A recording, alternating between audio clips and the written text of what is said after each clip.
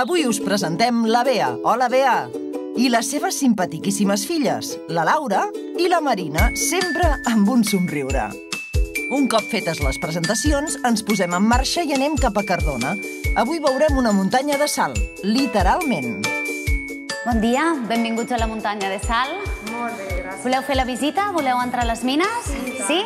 Doncs us explico una miqueta el que farem, d'acord? Jo us acompanyaré dintre de la mina. Mm? Jo sóc la Mònica i seré la vostra guia. Aquí podem conèixer la Mina Nieves, una de les explotacions de sals potàssiques més importants d'Europa fins al 1990.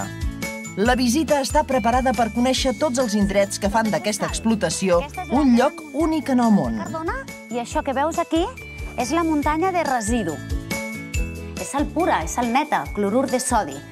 Si voleu, podeu fins i tot tastar-la, eh? és a dir, podeu passar el dit i podeu llepar i comprovar si és de sal comuna de debò. Segur que és la primera vegada que tasten el gust d'una cova. Es va acumulant gota d'aigua, gota d'aigua, gota d'aigua i es va formant una... Talactita. Molt bé, una estalactita. A l'exterior ens espera una altra meravella, aquest cop feta per la mà humana, el castell de Sant Vicenç de Cardona. Què, voleu que anem cap a dalt del castell? Vale. Sí?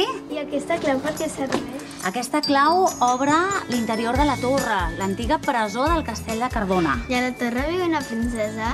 Bé, ara no hi viu cap princesa, però sí que hi ha una llegenda molt maca que ens parla de la Minyona. Voleu saber qui era la Minyona? La Minyona era la filla del duc, empresonada en aquesta torre com a càstig per enamorar-se d'un príncep musulmà. Diuen que a les 12 de la nit es pot veure el príncep cavalcant per aquests paratges mentre intenta arribar a la torre.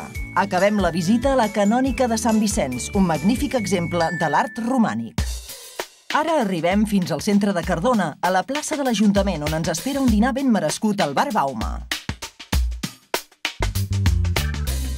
Mare, ara què farem? Doncs ara farem de pagès. Yeah! La vida en una casa de pagès no és fàcil, però pot ser d'allò més divertida. Hola, bona tarda. a casa nostra. Gràcies. Us ha costat de trobar-nos. Bueno, si voleu, us instal·leu i llavors baixeu cap baix i amb en Josep anireu a veure els animalons. A la Torre d'en Bufill, la família aprendrà a munyir vaques i a donar menjar als animals i així acabarà un dia perfecte.